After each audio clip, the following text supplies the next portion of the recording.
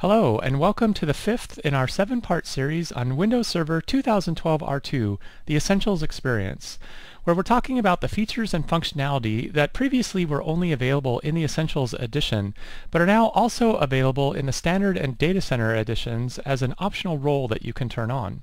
So today we're going to talk about cloud integration and add-ins, so let's take a quick look at our agenda here. So the main area of integration that uh, folks probably think of when they think about Essentials is our email integration. So there are a number of different choices that you have for what email solution you'd like to use in an Essentials environment. This could be Office 365 for hosted email. It could be an Exchange server that's run, running on-premise uh, in, in, the network. It can also be a third-party hosted Exchange solution. So all of those have uh, integration options that are available. We'll also kind of look at add-ins in general and the extensibility model that uh, the Essentials experience has. And uh, we'll also finally talk about uh, Windows Azure Backup, which is an example of uh, another add-in that can be included in the Essentials environment. So to get started with, uh, let's look at Office 365 integration. So obviously we do a lot of work here to make this uh, work very well. So the goals in terms of having integration with Essentials for Office 365 include offering a simplified experience that you can use uh, when you're administrating the environment. So this is going to be kind of that hybrid solution where you have certain elements that are running on premises as well as elements that are running in the cloud. And user accounts is a great example. So we want to be able to manage those users together and have a seamless experience on whether we're uh, using those user accounts to control access uh, to resources that are local to the environment or whether they're cloud-based. We also want to kind of maximize the, the value of using the two products together, both Essentials and Office 365. So uh, we'll talk about ways that they work well together. Now, uh, some of the integration features that we have, and we'll walk through each of these. One is uh, just a simple configuration for getting up and started with the integration components. Then we have the unified identi uh, identity management. So this is the idea of having uh, a user account that then is, is used to control access again to uh, both the uh, resources in the environment as well as the mailbox that the user has. So just one identity for each user uh, and that, that identity being able to work cross-prem. We also want to be able to use the same Windows password to access Office 365 and this is certainly possible when you're using things like um, like Active Directory Federation services and you have a true single sign-on type of environment. But that can be very uh, sophisticated and resource intensive, especially in uh, small business environments and even in some of the mid-sized business environments where there's a lot of work to do uh, to get ADFS up and running. So we'll talk about an approach to password synchronization that is very simple in the Essentials environment but works very well. We'll also talk about uh, integrated domain name configuration. So you have an internet domain name for your uh, company and you want to use that uh, as your email alias as well and uh, things that we've done to make that very easy to do. And then finally, just to provide an at-a-glance view of your uh, Office 365 subscription. So when you're in the dashboard doing various administration tasks, there's a page in the dashboard dashboard where you can just quickly and easily see your Office 365 subscription details. So here is a screenshot that kind of shows this uh, to you. And basically, when you install the integration components, you get this new tab uh, in the dashboard, the Office 365 tab. And clicking on that is going to give you just an overview of everything that happens in the environment. Uh, so you can see your organization, the technical contact information that you have set up uh, in your Office 365 subscription, uh, any address that you may have entered. You can also see the domains that are used, the internet domains. So when you very first get started with an Office 365 uh, subscription, you you get an onmicrosoft.com internet domain that you can use for sending and receiving email. But you probably also want to then take it a step further and create uh, your own specific uh, internet domain name that you want to use for emails and then you want to set that as primary so that that's the um, default uh, domain name then that's being used as you send and receive email. We can also see details of the subscription, how long it's going to last, when it's going to expire, how many uh, user licenses that you have, and, and, so on. And then finally, we can see uh, a look at how the Exchange Online component is being used in terms of uh, capacity. So how much uh, disk space is being used up uh, by various mailboxes. You also have uh, some quick configuration tasks and just links out to do deeper administration of your subscription. So things like uh, billing, uh, credit card information, and things like that aren't handled through the dashboard, but are handled through the Office 365 management portal. And so we have a link that will take you to that uh, so that you can do that uh, very easily. And then also you can see a link to uh, to join the to synchronize the domain name between Office 365 and your uh, internet domain name. So we'll take a look at that in more detail here in a bit. And then also you can even uh, disable the integration if at some point uh, you want to remove it or change it or whatever that you need to do. So the next thing that we have is uh, some new capabilities that have been introduced in the Office 365 integration that I just wanted to highlight. So uh, the first of these is SharePoint Online Libraries. So in the past, uh, you could create uh, SharePoint Online Libraries through the Office 365 portal, but you wouldn't see those in the dashboard and you couldn't create or manage them uh, in the dashboard. So now you're able to do that. Uh, this also makes it easy to assign permissions based on your user accounts.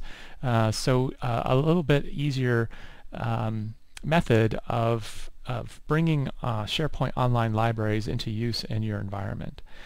We also have a better management of your mobile devices and for this we basically are just taking advantage of the Exchange ActiveSync components to give some basic mobile device management uh, in the environment.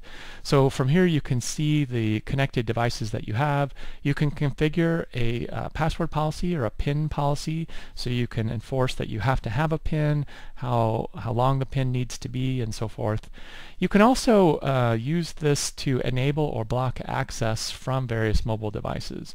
So as an example, if there is some security issue uh, that comes up, uh, and and mobile devices uh, that are being compromised, then you can block certain uh, brands or certain models from being able to connect to your environment until that concern, that security issue can be resolved. And then at that point, once everything is safe and secure again, then you can unblock those devices. So that just gives you a little bit more control over who's coming in remotely uh, to the environment. And of course you can do uh, remote wipe of mobile devices. So this is something that has uh, long been available in the uh, Exchange ActiveSync uh, capabilities. In terms of getting up and going with the Office 365 integration, the configuration is, is very straightforward. So you start this out uh, using the homepage of the dashboard. There are a number of uh, of add-ins and online services that you can go ahead and uh, initiate and Office 365 integration is one of those and the only thing that you really need is your uh, administrator name and password that you set up for the Office 365 subscription.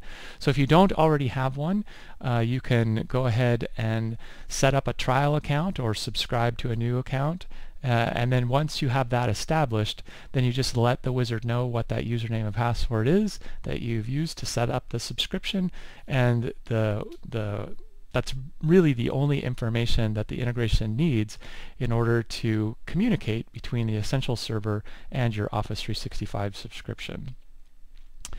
So once the uh, integration has been completed, then you're able to uh, experience a unified identity management uh, scenario for uh, using the dashboard and setting up your users. So as you create user accounts, you can, uh, using the same process, the same user uh, wizard, the same add user wizard that creates the user account locally also has a page in it, a step in the wizard that will let you create the associated mailbox for the user.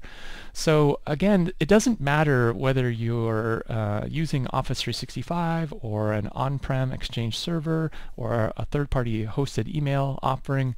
All of the wizards work in the same way in that as you create a user, you can go ahead and create their associated mailbox. So it provides that very seamless experience for um, for having your, your user accounts. Now, if you have an existing user account, you can also assign them to a mailbox. And you can either assign them to uh, a new mailbox that you're create as part of the wizard, or you can assign a user account to a pre-existing Office 365 account. So for example, if you got started with Office 365 first and then later introduced uh, the Essentials experience to the environment, then you can associate the pre-existing Office 365 mailboxes to the user accounts that you create uh, on the server. And then you can manage that user account and that Office 365 account together from the dashboard throughout its lifecycle. And by this I mean you can go ahead and uh, disable or re-enable an account. You can delete a user account and all of this uh, can be mirrored between the local user account in Active Directory and then the user account in the Office 365 subscription. So throughout the process of, of having a user account, uh, you have that integration between the um, the local server and the and the online subscription. So I wanted to spend just a couple more seconds talking about how the password sync sync works uh, with this integration. And it's very, very simple uh, and very, very lightweight. So the first thing that happens is the user, when they change their password on their, uh, on their client PC, so they just hit Control-Alt-Delete and decide to change their password. So that action then uh, updates the Active Directory that's running on the Windows Server Essentials uh, server itself. And, and by updating Active Directory, that lets the uh, integration module know that it needs to send a new password to Office 365. And so it uses that administrator username and password that you gave it for controlling the subscription, it uses that to create a secure tunnel, or a secure connection, I should say, to the Office 365 subscription, and then send that, uh, that encrypted password to the Office 365 cloud. So now the same credentials are going to be used by the user, whether they're accessing uh, resources that are are local to the essential server or whether they're accessing their their mailbox or their uh, SharePoint online libraries or a Lync for doing um, uh, conference calls or IM chats or anything like that. Uh, basically, your your presence uh, in in uh, instant messaging. Uh, all of that stuff is then Uh, accessed using the same username and the same password uh, for both, and that's that's basically how the passwords then are kept in sync. Now if you were to go off or a user were, were to go to the Office 365 portal and change their password in the portal, then the passwords would become out of sync because there isn't any way for the Office 365 portal then to come back and tell the Essential server that something happened and to allow it to update Active Directory that is uh, running locally on that server. So it's a, just a one-way synchronization, but uh, the typical way that the end user would change their password is again going to be doing something that updates the Active Directory on the Essential server and then that can flow up to the Office 365 cloud. So I mentioned uh, that the SharePoint library uh, integration is new, so you can do the typical things, add, delete, and manage your uh, SharePoint libraries. You could do this right from within the uh, storage tab of the dashboard. So you get a new sub-tab called SharePoint libraries where you can see these different things.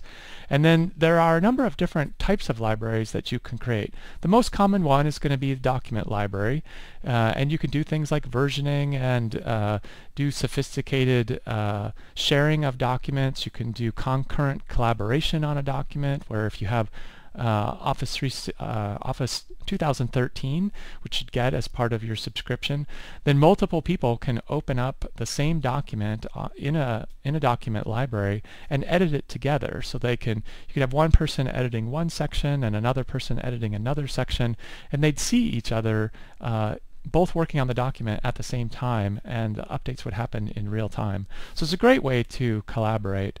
Uh, there's also picture libraries and there's even wiki page libraries. So you can set up a little uh, wiki for your business. Uh, it's a great way to share information and provide a repository uh, for kind of the um, the information about your company, your processes, your procedures, and, and things of that nature, just uh, questions that maybe customers of the business would have. So it's a great place to put uh, frequently asked questions and, and just various information that you might want to have. In terms of uh, permissions, you can go ahead and uh, set those on a per library basis. Again, you can do that right from within the dashboard. You can also just inherit uh, permissions from the parent site or kind of the top level uh, SharePoint uh, assignment. And that's probably one of the most typical ways to go, especially in smaller environments. But you, you can do more granular um, setting of permissions if, if you need or want to do that. In terms of the end users uh, working with documents in a SharePoint library, and we'll talk more about the user experience in, in the, this, the part 7 of this series, but you can go ahead and uh, get at SharePoint libraries through your browser, through uh, Internet Explorer or whatever uh, web browser that you want to use. But there's also a link in that web page where you can click on it and, and ask to synchronize with your local PC. And that will let you open up the uh, document library using Windows Explorer, just like you would open up uh, just a normal shared folder that's on the Essential server itself. So the experience then for the end user working with documents is pretty much exactly the same, whether that document is local or whether it's in the cloud. So you have a really, a true hybrid IT environment, and really that's kind of the goal uh, that we're going after here is to is to make that experience seamless and give you the best of both worlds. In terms of mobile device management, again, as I mentioned, you can set uh, device uh, password policies, so whether or not you want to enforce that uh, devices have to have a PIN. Uh, you can set the length of that and how many attempts that you have to sign in, uh, how long an interval should uh, pass before the device automatically locks itself due to inactivity. You can even define password strength or require encryption, assuming that the device supports that. Uh, and finally, you can, uh, as I mentioned, define access rules. So this would let you block devices based on the family or the device model that they have, and then finally uh, remote wiped of devices, which um, we've had in the past.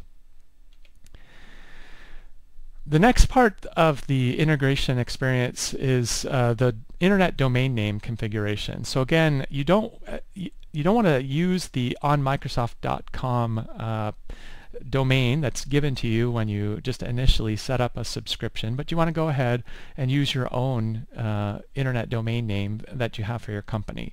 And so there's a wizard as part of the integration module that makes it easy to configure that, that company domain name that you can use across. And, and the most common way that you'd see this in the local environment is through remote web access. So users can access the server remotely uh, through their web browsers at remote.yourdomainname uh, dot whatever it is. And you want to have that same web address be used for your email. So Typically, uh, we use contoso.com as our example, so you might uh, open up your web browser and go to remote.contoso.com to access remote web access, and then you might have a, uh, an email address that is, you know, terry at contoso.com or, uh, or whatever the case may be. And so uh, synchronizing those two things is um, is achieved by running through uh, this wizard, which helps you then uh, link that internet domain name to your Office 365 subscription.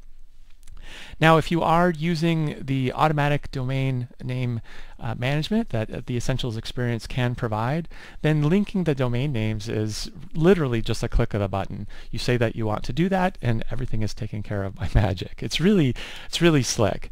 Uh, but you don't have to use the automatic DNS management uh, that Essentials provides. You can manage your your uh, DNS manually if that's what you want to do, or if you want to use a provider that doesn't support the automatic management, that's fine. Uh, the integration module will show you what the, uh, the DNS records that you need to add, uh, what they are and, and, what they look like so that you can go ahead and, uh, and manually configure the domain as needed. So next I wanted to just kind of briefly go over the idea of integrating with Exchange Server that's running on premises as well as hosted Exchange integration opportunities. So if you are uh, deploying an Exchange server on-prem, then it is less likely, much less likely actually, that you would be running the Essentials Edition. It makes a lot more sense to be running uh, Windows Server Standard, which again gives you two virtual instances that you can run uh, with a single license.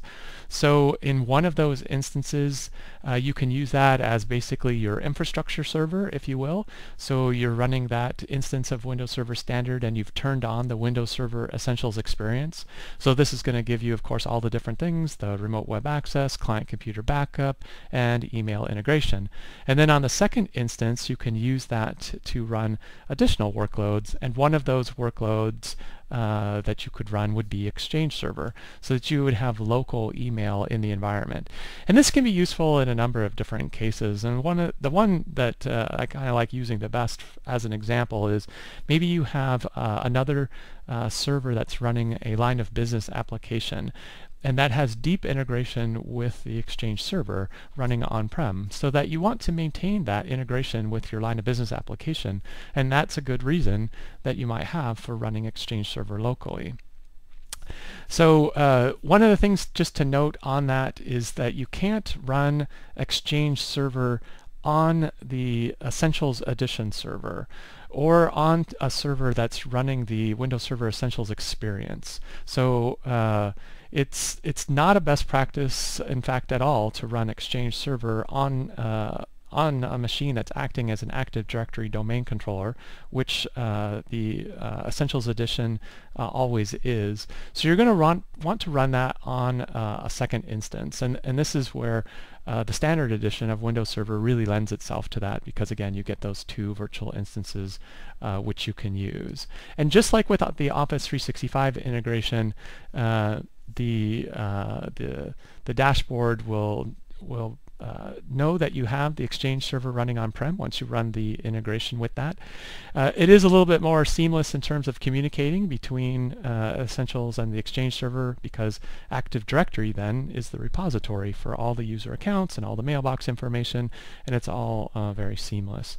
But in terms of how it uh, appears to you as you're doing administration or how it appears to end users as they're uh, using their mailboxes, then it all becomes very much the same. So again, uh, in the dashboard, you would uh, see the um, the user accounts and the mailboxes together. Uh, the uh, you can manage uh, user quota, mailbox quota through the dashboard as well. You can manage uh, a user's mailbox again throughout their lifecycle. So all the way from creating, modifying, uh, enabling or disabling an account, all the way through to uh, deleting and removing the email uh, contents. And again, you have control over the Exchange server's retention policy. So once you do delete an account, there's a certain period of time where you can bring the information back. Uh, next is the hosted uh, exchange integration. So uh, there is a, uh, a framework uh, an extensibility framework that uh, hosted exchange providers can use to create their own integration module for their own service. So each integration, each third-party exchange provider is going to have slightly different environment that they would need to integrate with, although the uh, the framework that's provided by Essentials uh, is is gives all the basics that they can then plug into. So it's really designed to help the the providers develop an add in uh, for their individual environment. It, we provide a way that greatly simplifies the development of this custom add-in by creating a great starting point that you can use, that you can download from MSDN. Uh, we provide a set of uh, extensions for the user interface uh, that can be included. Uh, and it also provides enough flexibility for the hosting providers to be able to create their own integration experiences. So if there's things that they um, uh, provide additionally, uh, then those things can also be included in their integration module so they can expose that functionality to their customers. And it provides uh, a way to uh, enable the implementation of business logic. So uh, things like doing password synchronization, uh, the framework supports being able to do that. And it also defines a standard interface that hosters can use to connect uh, the built-in provider with their own hosting services. So really kind of an end-to-end uh, uh, framework then that, that Exchange providers can go ahead and use to again provide that same experience that, uh, that you would have and your uh, users would have in uh, working with their user accounts and their mailboxes. Now there's a little bit more information on uh, the Exchange add-in architecture. Uh, this gets a little bit uh, sort of in the weeds, but I did want to include it just to kind of give you a feel for uh, how it flows through the uh, Office 365 integration module works on this exact same type of model. Uh, so it, it, really provides a, a robust solution uh, with enough flexibility to to allow uh, third-party providers to to customize their solution and add uh, offer an integration experience that's just as good as uh, as that Microsoft provides for for their own Office 365 product. So finally, I just wanted to talk a little bit more about add-ins in general uh, and where you can find them. So an add-in uh, like the Office 365 integration model is simply a, a piece that provides uh, additional functionality that extends the capabilities of the Essentials experience beyond what comes in the box. These are things that can be end user features, they can be uh, administrative features, they can be a combination of both. Uh, this uh, is something that OEMs can pre-install during their factory imaging or if you're a system builder, uh, things that can be baked into the image that are that's provided to customers. Um, and uh, across a number of different areas. So email integration is one that we talk about a lot, obviously, but there's also uh, anti-malware type solutions. There are backup uh, cloud backup solutions, different things like this. Uh, it, they can be cloud-based, they can be on-premise apps, uh, whatever is appropriate really. The sky's the limit in terms of what the extensibility model will support. And there are integration touch points throughout the Essentials experience, uh, throughout all the different tabs in the dashboard, uh, the Launchpad can be extended, remote web access can be extended. So there's a lot of things that can be done. One of the pages uh, in the dashboard is used to manage all the different add-ins that you may have in the environment. So it's just a centralized place to see everything that you have, uh, to uh, install and uninstall add-ins in the environment, uh, and and make it kind of easy just to get an overall sense of uh, of what add-ins that you have. Now each add-in uh, can and probably does extend the dashboard itself with tabs that are specific to the add-in itself. So uh, like you may have seen in previous screenshots, there's an Office 365 tab. If you install the uh, Windows Azure Backup add-in, you'll see an online backup tab and things like that. But the Applications tab is where you can see all of your add-ins uh, at once all together. So uh, one of the, the great things about the extensibility model that the Essentials experience provides is that it it is a standard way for ISVs to develop against the, the platform and make a simplified uh, interface that can be used through the dashboard. It also provides that single install and management approach so that you don't have to keep reinventing that particular wheel. And then the the offering, the the solution that the ISV provides is presented in line with everything else that's happening in the dashboard. So you get this simplified uh, experience that where everything that you need to to to administer or to manage is presented then through the dashboard. It's also a great way for OEMs to add value to their solution and to differentiate their solutions uh, by pre-installing various add-ins or various uh, services. You can you can discover add-ins that are available for the Essentials solution through Microsoft Pinpoint. And so we've added a sub-tab in the Applications tab for Microsoft Pinpoint where you can see uh, the popular add-ins bubbling up to the top. So you can jump directly to Pinpoint and use that as a way to explore. You can also uh, find add-ins that are available uh, right in the dashboard. So when you look uh, at some of the capabilities of the add-in manager specifically, here you can use this as a way to install and uninstall uh, from the server uh, or client computers. Certain add-ins have client-side components, uh, and so you can use this as a place to uh, either install those after the fact if you want to do that or control those depending on how the add-in is installed. Uh, it's also a great way uh, to uh, to find and to manage any subscriptions that the add-in may have. if it's not handled on its own page, this can be uh, uh, provide a standard framework for dealing with those. Uh, it can be a great way to find uh, and install updates for the add-in. So again, it's kind of up to the add-in developer on how they want to handle that, whether they're going to use some um, something on their own page that they created, their own page of the dashboard that they created, or whether they can just uh, leverage the add-in manager page in order to uh, present uh, these different choices to you. It's also a great place to put uh, support websites for the different um, for the different add-ins, so you can generally find uh, community information, support forums, uh, different things like that about the add-in in general. these are all uh, things that can be available in the uh, add-in manager page of the dashboard. So as I've mentioned before, there's a number of different areas throughout the product that can be extended. There's a very rich software development uh, kit, uh, an SDK that's available from MSDN, so I provided a link there on the page. Uh, the dashboard, of course, can be extended throughout, uh, different, adding different tabs, modifying the behavior on the tabs that exist, creating custom tasks, uh, different things like that. The launchpad can be extended, so uh, again, uh, if end users are, are using this as a, as a convenient way to, to start various aspects or to access various access aspects of the Essentials environment. Uh, that can be extended. Remote web access can be extended for remote users. Uh, and uh, an area that I haven't talked about too much is the health alerts.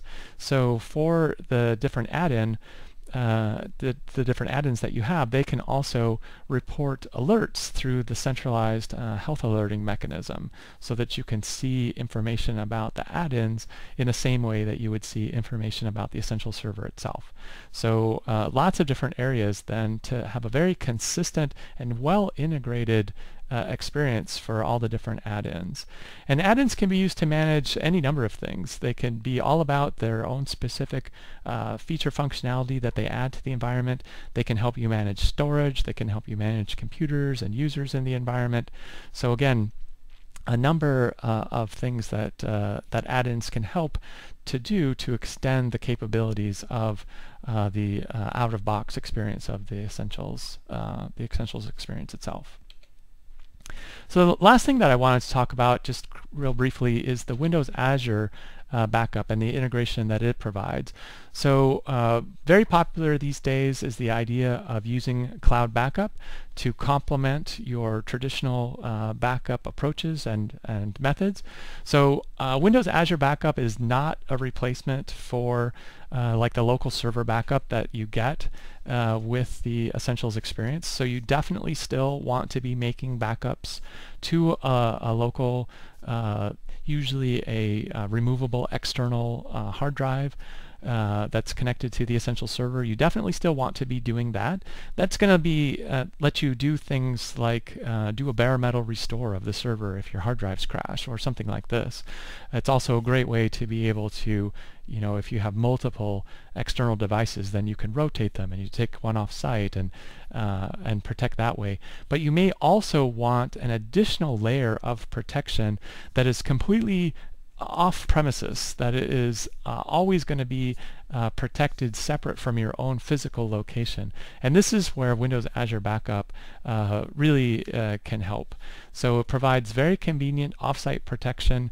It protects individual files and folders. So again, it doesn't do the system state. You can't use it to do a bare metal restore of the server, but you can identify which shared folders in the environment contain that business critical information that you want to make sure you have uh, an online offsite copy of.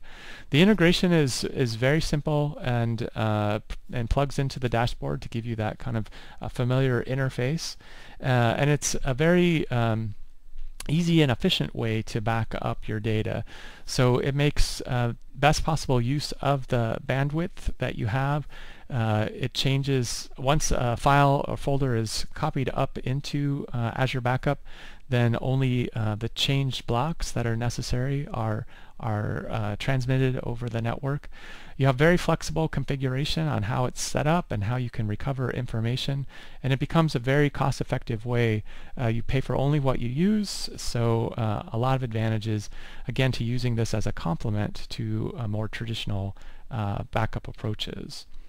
So as we look at how this uh, this works in the environment, what it looks like once you've got the uh, the, the Windows Azure Backup integration installed, it adds a new page to the dashboard. And here, uh, what you're going to need to do is create a Windows Azure account uh, and then set up a backup vault. Now, once you have the uh, backup vault created, it provides you with a security certificate that you then use to register your server so that the service is knows that it's your server that's being backed up. So you can securely hook the two together, your physical server and the service that you're using with Azure Backup. So that's where the security certificate comes into play. And then you have uh, a configuration wizard that you uh, run through to define your online backup settings. So selecting the folders to protect, defining the backup schedule that you want to use, setting a retention policy uh, so that you have um, you know, a longer period of time over which you can uh, do restores. But of course, this is going to consume more disk space so that you can balance uh, what you want to do. You can also define uh, how your network bandwidth is used. So being able to restrict that uh, during busy times of the day uh, and things like that can um, can help to to make sure that the the Azure backup isn't uh, taking more of your of your uh, internet bandwidth than you want it to consume. So that's a quick look at uh, add-ins, extensibility, and especially the email integration components of uh, the Essentials experience. So uh, I wanted to just wrap up with some links to some great resources that you can use uh, as a next step to learn more. Uh, we have a very rich and robust tech center uh, available for the Windows Server Essentials uh, experience, so included a link to that. We also have a very active blog, so I highly encourage you to check out our blog. Uh, we have articles there that are posted from the uh, development team about the uh, various features. We also uh, have articles that are posted by our customer service and support team about issues so that you can uh, proactively be aware and uh, and reactively know what to do to solve problems that may come up in the environment or just issues that that uh, other customers have faced, as well as marketing information, new things that are coming in the product announcements and, and various things. So very active blog. I highly encourage you to check that out. We also have a great support forum. So again, this is actively monitored not only by our dev team, but also we have a great community of MVPs, a lot of uh, knowledge, and they're uh, very, very active in the forums and helping folks out. And then finally, we do have our product pages for Windows Server 2012 R2 as well as the Essentials Edition. Uh, both of those product pages where you can download things like uh, data sheets, white papers. You can also find the trial editions of the products uh, and uh, use those, download those, and get started that way. I also uh, included some information on um, becoming a Microsoft Cloud partner. So you can, uh, for the partners watching this, some great uh, uh things that you can do to get involved. Uh, so I wanted to include that as a resource. We also have our Ahead of the Game campaign. So I highly encourage you to check this out. This is a great way to get information uh, and get ideas and marketing resources to help inform and connect with your SMB customers. We also have a number of other partner resources that I wanted to make sure that you are aware of and just provide a, uh, some handy links to those. And of course some information on how to buy Windows Server 2012 R2.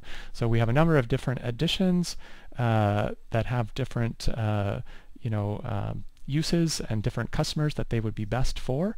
Uh, and then we have finally just some product and licensing resources that I wanted to share. Again, uh, these are I just wanted to include these in the deck so you had these as a handy reference. And then uh, last but not least, uh, some of the different licensing programs that we have. So again, um, some of the different ways that you can purchase the product. So thank you very much for joining me for this uh, session on our uh, our email integration and our add-in model. Uh, I hope you found this valuable and I encourage you to check out the other sessions in our seven-part series. So thank you very much.